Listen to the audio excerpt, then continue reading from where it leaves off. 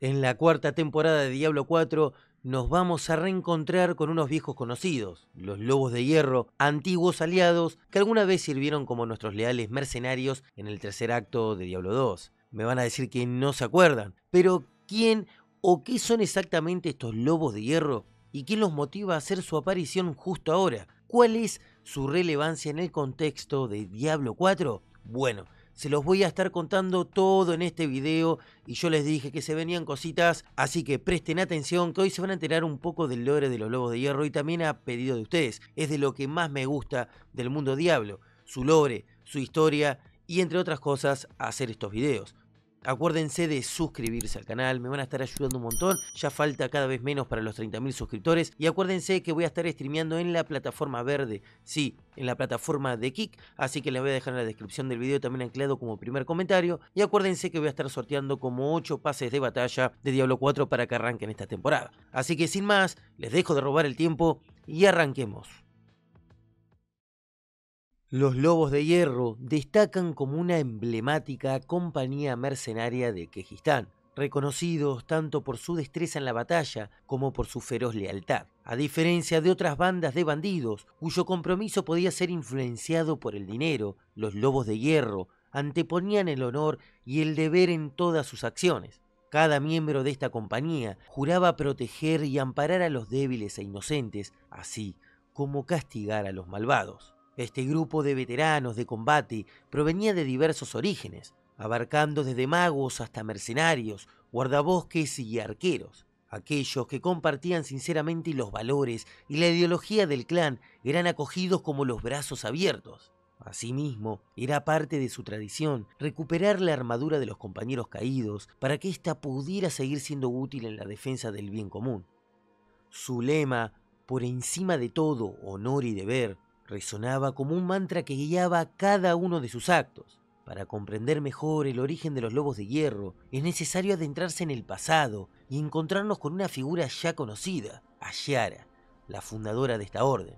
Tirael mismo lo confirma en sus memorias. Ayara pasó muchos años como miembro de varios grupos de mercenarios sin escrúpulos, despreciando las tácticas brutales empleadas por estos grupos Finalmente, forjó los Lobos de Hierro, una orden de mercenarios que prioriza el honor y el deber por encima de todo. Sé que Ayara es estricta con sus seguidores, pero también es imparcial. Ayara mantenía un vínculo especial con sus subordinados y siempre estaba lista para luchar a su lado. Bajo su liderazgo, seguían estrictamente un fuerte código moral. Su voto más solemne era proteger a aquellos bajo su cuidado de cualquier daño, aunque su tono era directo, su genuina preocupación por aquellos confiados a su protección era evidente. Además, tenía una baja opinión de la iglesia Sakarum, considerándola inferior a Skapsim, la religión más antigua y sagrada de la región de Kuraz, donde la naturaleza y sus seres eran venerados.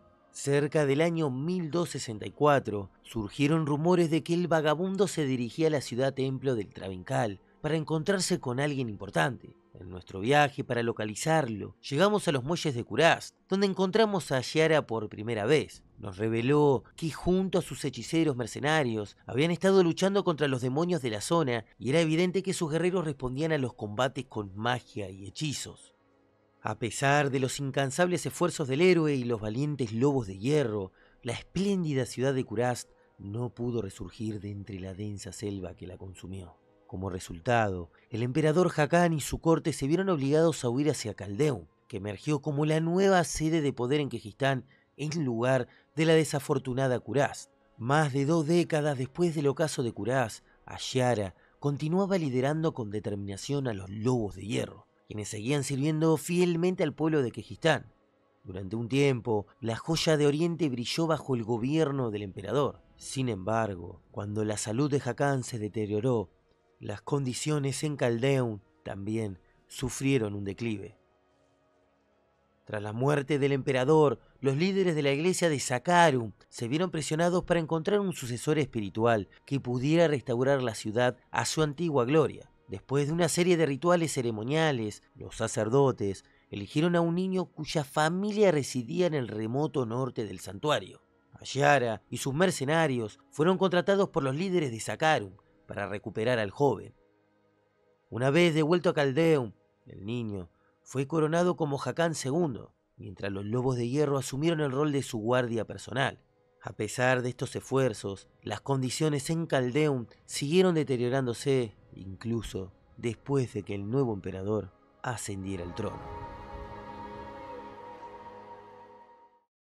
Hoy en día, los lobos de hierro se hallan en su deteriorado campamento, situado al oeste de Caldeun, en lo alto de la escarpada costa de Quejistán. Sin embargo, la situación actual de los lobos de hierro es preocupante, siendo el clan apenas una sombra de su antiguo esplendor. Ayara ha estado desaparecida durante mucho tiempo y rumores sugieren que está acompañada por un misterioso compañero. Un fragmento de las notas del desierto de Neptel revela un encuentro en el que se menciona a Yara hablando con alguien a quien llama Maestro y Tirael, discutiendo sobre el destino de los mundos. En la actualidad, los lobos son liderados por Soude de Anvil, sucesor de Ayara, quien también ha desaparecido. Nuestra tarea en la temporada 4 es encontrarlo y descubrir por qué los miembros de la Orde están muriendo de manera sospechosa, con la esperanza de ganarnos su favor.